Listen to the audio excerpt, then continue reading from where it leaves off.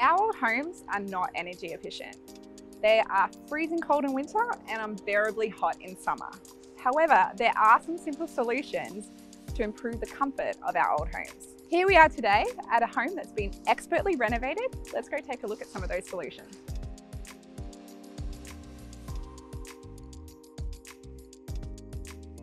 So we're at Pippa's home today. This has been her family home for over 17 years. Hi Danny, come in. Hi Pippa.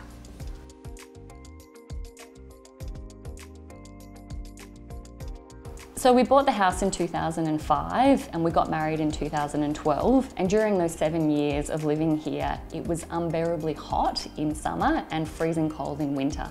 I remember back in 2010 lying in bed and being able to see myself breathing frost because it was so cold in the bedroom without the insulation. In 2014, we had Melbourne's heat wave of five days of 40 plus, and I just said to my husband, this is not sustainable. We really need a house which is more comfortable, particularly with a view towards raising a family.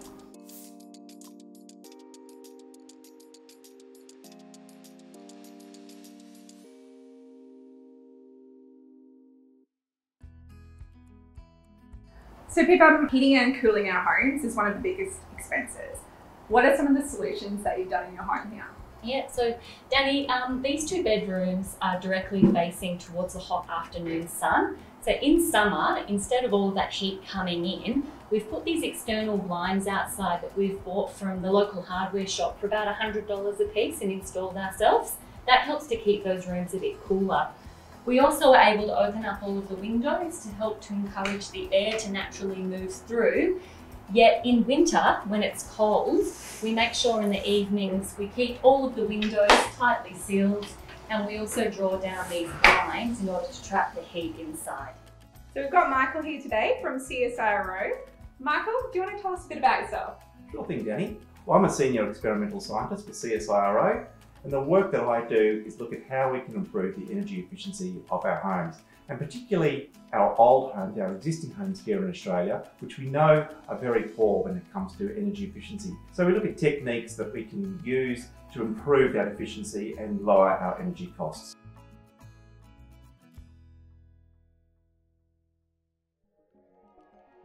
So our new homes, we have minimum energy efficiency standards. That includes minimum insulation levels in our, in our homes. Old homes like this one, often they are very poorly insulated and sometimes they have no insulation at all. One of the key things that people can do is to put insulation into their homes and particularly insulation in the ceiling.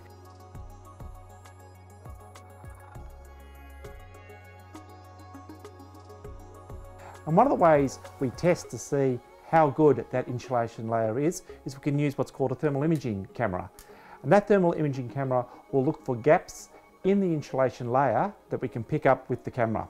So what we're seeing here is the thermal image of the ceiling and we can see the different colours and then we can see that, that red colour there on the screen and that indicates where the ceiling is slightly warmer than the surrounding ceiling and that indicates that there is a gap in the insulation layer in this particular part of, of the ceiling.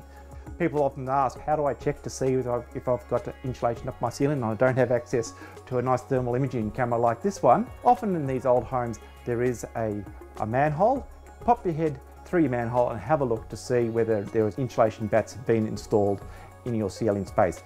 If not, then you can call that professional, get, get somebody out and get those batts installed.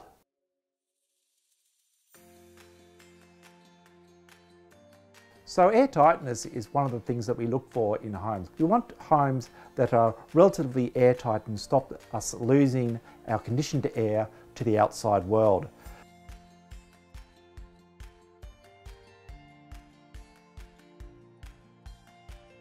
One of the really important aspects is to try and find where those holes and those gaps are in, in our homes. So gaps can occur in all types of locations.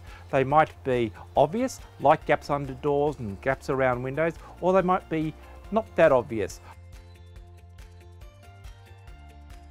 And often what we find is there's gaps inside cupboards where old appliances have been removed and also other, other areas like old fireplaces. Fireplaces allow a lot of air leakage up through the chimney Often just filling gaps can be a really, really simple process. We can just use expanding foam and again that's something we can just buy from the hardware store, squirt that expanding foam into those holes, it'll expand, it'll block up block up the hole and it'll stop those air leakages happening. So weather sealing our doors and our windows is a really effective way to stop drafts entering our homes. So what we can do is we can use weather sealing on our door frames and we can do weather sealing on the, the doors themselves. These can all be easily bought at your local hardware store and are easy to fit yourself. So the appliances that we have in our homes are another really important aspect to think about. Something like a fridge is running 24-7, so it's really important that we, when we're choosing a, a new fridge, that we look for one that is uh, energy efficient.